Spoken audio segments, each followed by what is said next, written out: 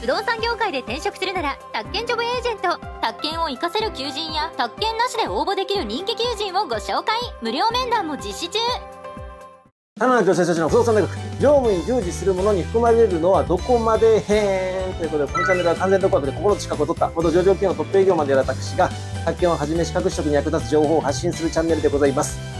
ということでですね、これ普段勉強していることもですね、ちょっと角度を変えてみると、もう途端にわからなくなることってありますよね。本試験でも初見の問題が出てくるとですね、パニックに陥るのはですね、こういう原因があるんですけども、不動産大学としてですね、そういうちょっと角度をですね、変えたところの視点からのですね、知識っていうのをですね、重要視しております。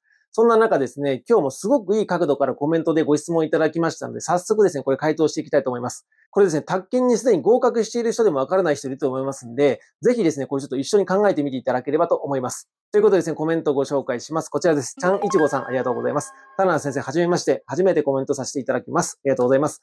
子供が中学生に上がり自分の時間ができるようになったため、宅建合格目指して頑張りたいと思います。いいと思いますよ。専任の宅建士の設置義務について質問させてください。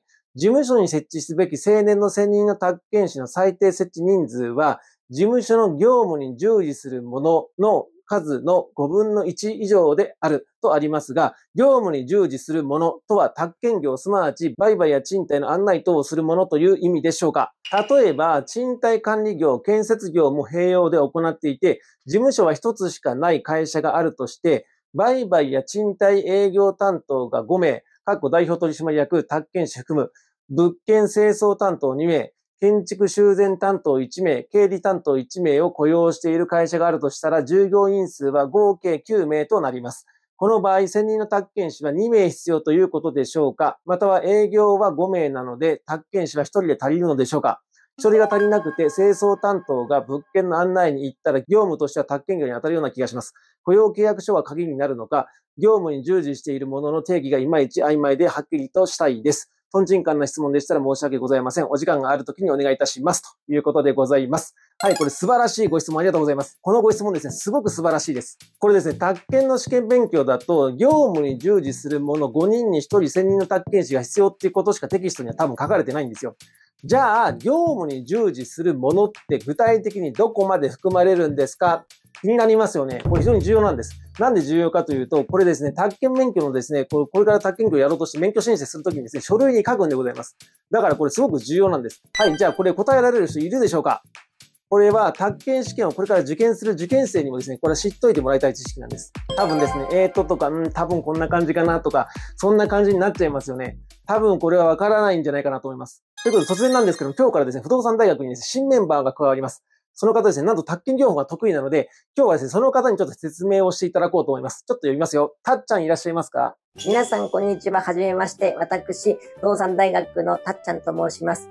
私はですね、宅建業法がとっても得意なんです。なので、私の方で宅建業法についてはちょこちょこ皆さんにいろんなアドバイスをしていければなというふうに思っているので、よろしくお願いします。ぴょんということで、ここからは私、たっちゃんが代わりに解説をさせていただきたいと思います。任せてね。はい。じゃあお願いしますよ。はい。お願いします。たっちゃんちょっとふかふかしてて気持ちいいんでございます。はい。じゃあたっちゃんの方がですね、ご説明をさせていただきます。じゃあ説明するね。専任の宅建士の設置基準になる業務に従事するものの範囲っていうのは、実は結構複雑なんでございます。時々、従業者名簿に記載されている人イコール、業務に従事するものって思っている人がいるんですけど、これはですね、全然違うんですよ。具体的に言うと、従業者名簿に記載されている人でも、業務に従事するものに含まれないという人がいるんです。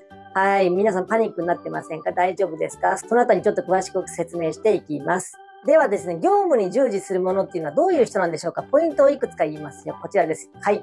ポイント1、宅建業の業務に従事するもの。これについては、個人業者本人とかですね、じゃあ個人事業主の場合はその本人とか、法人業者の場合はその代表者ですね、社長とかですね。あとは直接営業に従事するものは必ず含まれます。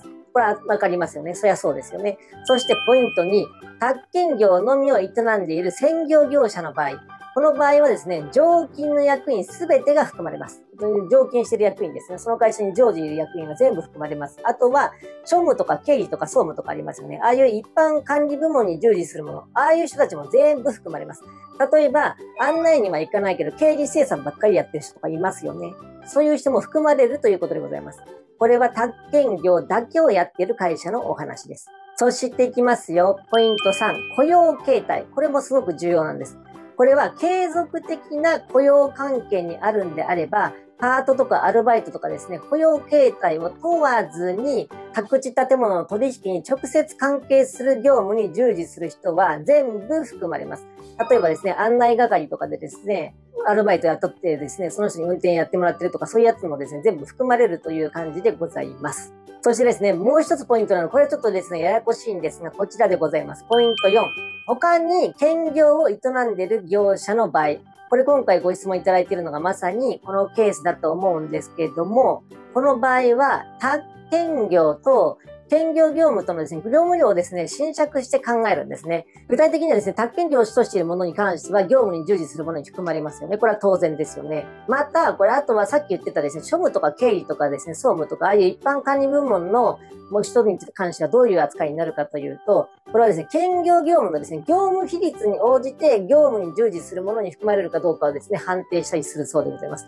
例えばですね、具体的に言うと、建設業と宅建業ですね、1対2の割合でですね、こう営んでるとしましょう。この1対2の割合をどういうですね、判断基準に出すかはですね、まあ、僕もはっきりわからないんですけれども、会社にですね、経理が例えば9人いた場合、宅建業に従事するものというのは、9人かける3分の2で6人というふうにカウントすることになります。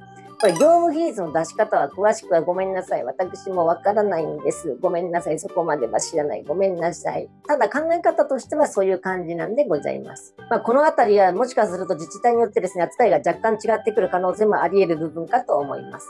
じゃあですね、ここからちょっと皆さんがちゃんと分かったかどうかクイズ形式でちょっとお出ししたいと思います。これから従業者名簿に記載されているものについて挙げていくので、業務に従事するものに該当する場合は丸、該当しない場合は×でお答えください。いきますよ。こちらです。きょんはい。1、常勤の代表者。2、常勤の役員。3、非常勤の役員。4、宅建専業業者の総務経理事務。5、兼業業者で建設業に従事するもの。6、宅建業部門に配属されているが、あまり取引に直接関係が乏しい常勤の受付係。7、宅建業務部に配属されているが、あまり取引に直接関係が乏しい臨時で雇った受付係。はい。業務に従事するものに含まれる場合は丸。そうじゃないものは×でお答えください。いきますよ。答えはこちらです。はい。こんな感じになります。常勤の代表者とか常勤の役員はですね、全部含まれますよね。で、非常勤の役員は含まれません。そして、宅建業、専業業者の場合は、総務経理全部含まれます。兼業業者で建設業に従事するものに関しては含まれません。で、宅建業部門に配属されているが、あまり取引に直接関係が乏しい常勤の受付係。これは該当するんですね。含まれるんです。ただ、臨時で雇っている場合に関しては含まれない。そんな感じになるんでございます。まあ、こうしてみると、ポイントはですね、発見業の専業業者かどうかっていうところが非常にポイントになってきます。あとは、その人がですね、常勤なのかどうか。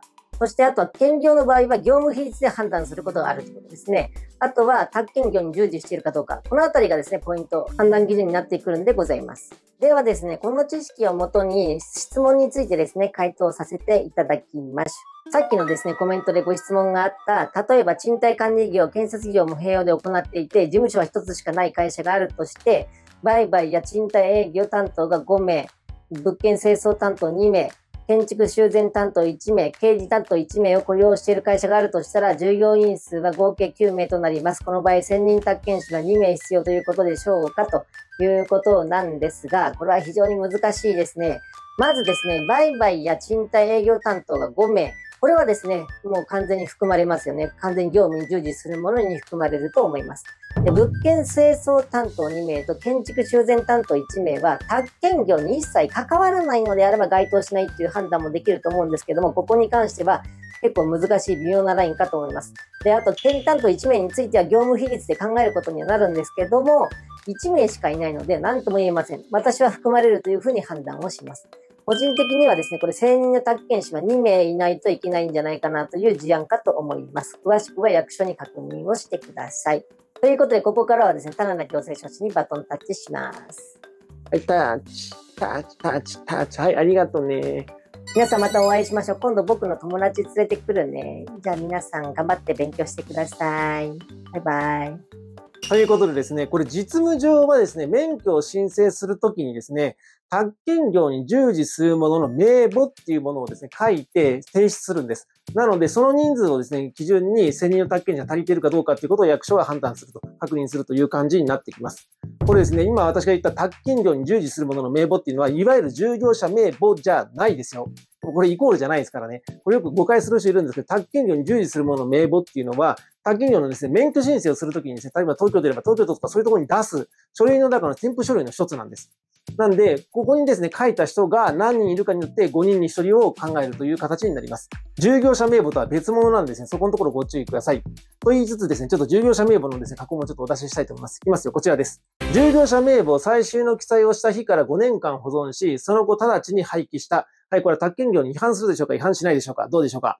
これはですね、ズバリ、これは宅建業法違反になります。これはですね、従業者名簿は事務所ごとに備え付けて、最終の記載日から10年間保存しなければいけません。これは覚え歌でもですね、やっておりますので、覚え歌聞いてない方、ぜひ聞いてください。このようにですね、従業者名簿っていうのは事務所に備え付けるやつなんです。で先ほど私はお話ししたですね、宅建業に従事するものの名簿っていうのはですね、免許申請するときに役所に提出するやつなんで、これは別物になりますのでご注意ください。従業者名簿というのはですね、事務所に保管するやつで、これにはですね、さっき該当してこなかった非常勤とかですね、臨時で雇う場合なんかもですね、全部記載するんですけども、宅建業に従事するものには含まれませんのでご注意ください。イコールじゃありません。この2つの名簿はですね、イコールにはなりませんのでご注意ください。ここまではですね、試験には出ないと思いますけども、ちょっとややこしい部分なんでですね、混同しないようにですね、名簿という名の付くものが2つありますので、それで、宅建試験でよく出てくるのは従業者名簿のポイントですね。ここをしっかりと覚えておきましょうということでございます。